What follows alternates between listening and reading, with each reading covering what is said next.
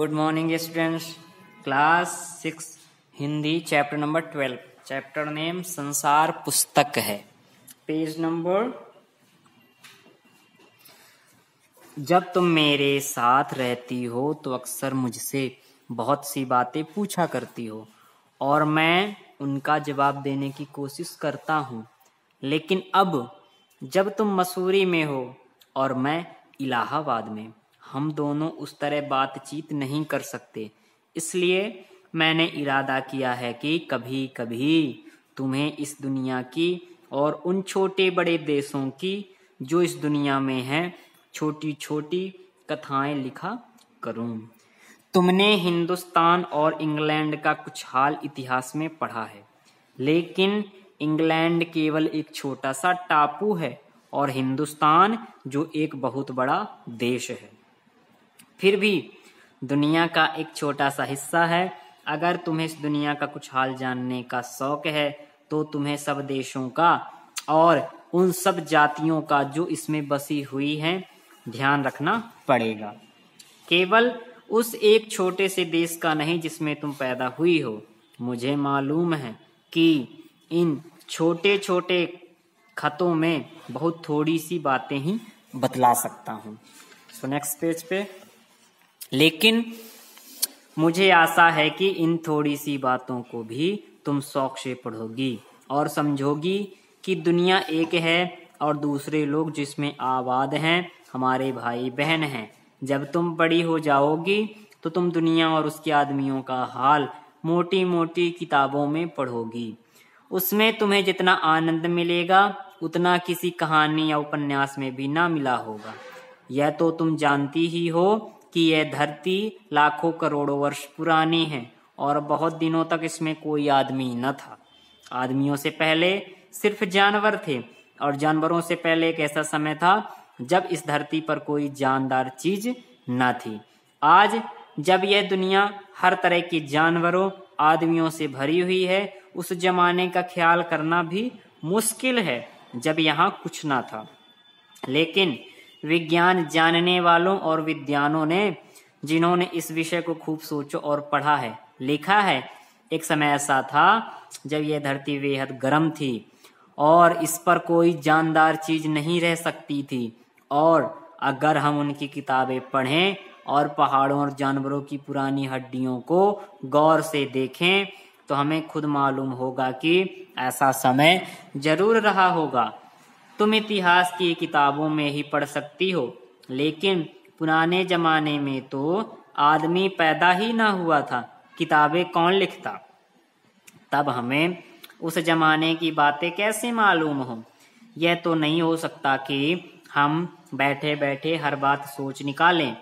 एक बड़े मज़े की बात होती, क्योंकि हम जो चीज़ चाहते सोच लेते और सुंदर परियों की कहानियाँ गढ़ लेते। लेकिन जो कहानी किसी बात को देखे बिना ही गढ़ ली जाए, वह ठीक कैसे हो सकती है? लेकिन खुशी की बात है कि उस पुराने जमाने की लिखी हुई किताबें न होने पर भी कुछ ऐसी चीज़ें हैं, जिनसे हमें उतनी ही बातें मालूम होती हैं। जितनी किसी किताब से होती ये पहाड़, समुद्र सितारे, नदियाँ, जंगल, जानवरों की पुरानी हड्डियाँ और इसी तरह की भी और भी कितनी ही चीज़ें हैं जिनसे हमें दुनिया का पुराना हाल मालूम हो सकता है।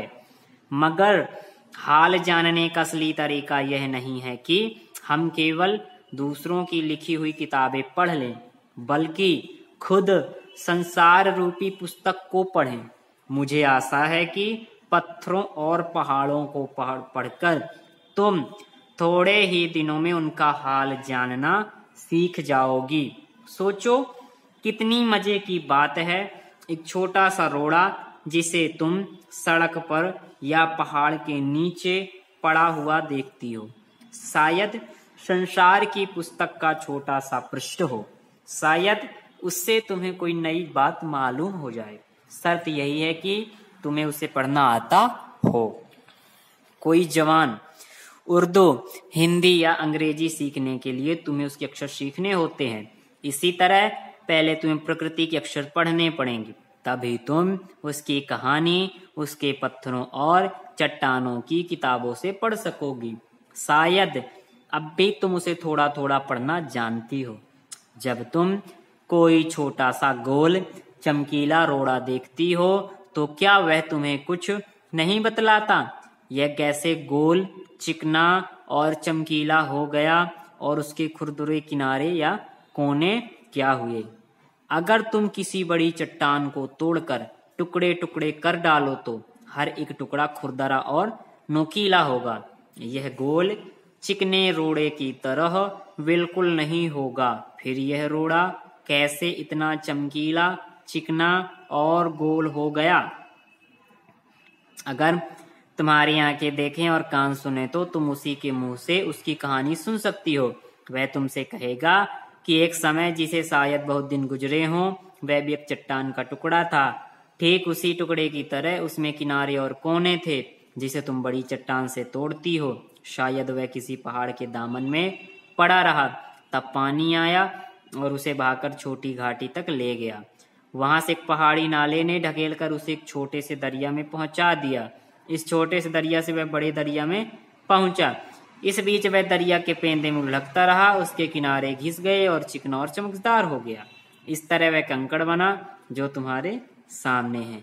किसी वजह से दरिया उसे छोड़ गया और नेक्स्ट पेज पे। तुम उसे पा गई। अगर दरिया उसे और आगे ले जाता तो वह छोटा होते होते अंत में बालू का एक जर्रा हो जाता और समुद्र के किनारे अपने भाइयों से जा मिलता, जहाँ एक सुंदर बालू का किनारा बन जाता, जिस पर छोटे छोटे बच्चे खेलते और बालू के घरौंदे बनाते। अगर एक छोटा सा रोड़ा तुम्हें इतनी बातें बता सकता है तो पहाड़ों और दूसरी चीज़ों से जो हमारे चारों तरफ़ हैं, हमें और कितनी बातें मालूम हो सकती हैं। इसकी रचयिता जवाहरलाल नेहरू। लेखक के बारे में कुछ इन्फॉर्मेशन जवाहरलाल नेहरू 14 नवंबर 1889 27 मई 1964 आज़ाद भारत के प्रथम प्रधानमंत्री थे। बच्चों से इन्हें बेहद लगाव था। ये चाचा नेहरू के नाम से जाने जाते थे। इनकी बेटी इंदिरा जब दस वर्ष की थी, नेहरू जी ने उन्हें अनेक चिट्ठियाँ लिखी। इनमें बताया कि पृथ्वी की शुरुआत कैसे हुई। और मनुष्य ने अपने आप को कैसे धीरे धीरे समझा, पहचाना? ये चिट्ठियाँ बच्चों में अपने आसपास की दुनिया के बारे में सोचने, समझने और जानने की उत्सुकता पैदा करती हैं। नेहरू जी को अपने देश के बारे में बोलने, बताने में विशेष आनंद आता था। ये सभी चिट्ठियाँ पिता के पत्र, पुत्री के नाम पुस्तक में संकलित हैं। संसार पुस्तक है। इसी पुस्तक से साभार लिया गया है। खास बात यह है कि ये पत्र नेहरू जी ने अंग्रेज़ी में लिखे थे और इनका हिंदी में अनुवाद हिंदी के मशहूर उपन्यासकार मुंशी प्रेमचंद्र ने किया। सो यहीं पे चैप्टर आपका एंड थैंक यू स्टूडेंट